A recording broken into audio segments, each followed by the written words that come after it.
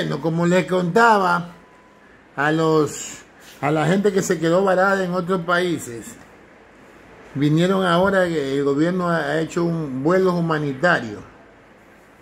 Ha hecho vuelos humanitarios para que vengan acá y pasen la cuarentena aquí. ¿Y sabe a dónde los mandan? A un hotel. Y en el hotel tienen que pagar 700 y 1000 dólares. 700 paga uno, otro paga más. Pero eh, en esta nota de que traen a unos pasajeros acá y los mandan a un hotel, cuatro pasajeros se le van, pues se le escapan. Se le escapa, los mandan a la casa, pues, tal vez los manes no tuvieron para pagar o, pagaron y se fueron. No es que los, no es que los manes, a ver, el Ministerio de Salud lo dejan nomás los manes ahí. Quédense aquí. Y no le dejan ni un policía, ni un militar, nada. O sea que los manes verse ahí que nadie lo está cuidando, porque el dueño del hotel no es policía. Los que trabajan en el hotel no son policías. Lo dejan a, cargo de ellos. Para que ellos, el dueño del hotel lo cuide. Y los pasajeros no le van a hacer caso al dueño del hotel. Porque el dueño del hotel no es policía, no está preparado para eso. Se fueron cuatro manes. No pues, mire, 700 dólares le cobraron a un familiar mío que vino de Cuba. Por 14 días en un hotel. Ahí pasa la cuarentena. Hasta que llegue a la casa pero no todo el mundo tiene 400, 700, 700 dólares, Peñaño, habla serio. Son 700 dólares. Tú sabes que todo el mundo no tiene 700 dólares para pagar, Peñaño. 700 dólares. Viene, mire, la gente viene gastada allá, porque a la gente le cogió esta, esta pandemia, le cogió en otros países. Como no podían venir, tenían que pagar hotel, comida, pasaje. Ellos llevaron para 3, 4 días, 5 días o 15 días.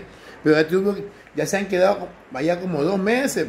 Como ya, hoy ya tenemos 50, 50 días que tenemos ya con esta cuarentena. Imagínate un man en otro país. Se gastó lo, lo que llevaba, se quedó endeudado y todavía viene acá y le hacen pagar 700 dólares para estar, para estar 14 días en un hotel hospedados y sin comida, creo que, no sé, con comida o sin comida es caro. En vez de tenerlo, no hacerle pagar, pues no que ya viene gastado. Llévalo a un cuartel, llévalo a un cuartel del ejército, prepárenle un cuarto, ténganlos ahí. Le hacen pagar, se escapan, se escapan los manes, se escapan pues esos manes, cuatro manes se le escaparon. ¿Y a quién cree que metieron preso? Porque se le fueron se fueron esos manes de San Borondón. Cuatro personas se fueron. Ya nadie los cuida. No hay policía cuidándolos. Se van a su casa. Ahora andan escondidos. Andan que lo busca la policía. Como que ellos tienen la culpa. Que lo dejan sin policía, sin nada. Lo dejan a los manes. Ya, pues los manes están pagando un billete por estar en un hotel.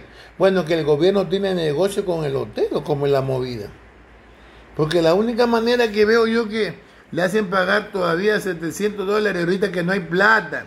La gente no está, no está generando dinero, le hacen pagar todavía 700 dólares ñaño, habla serio.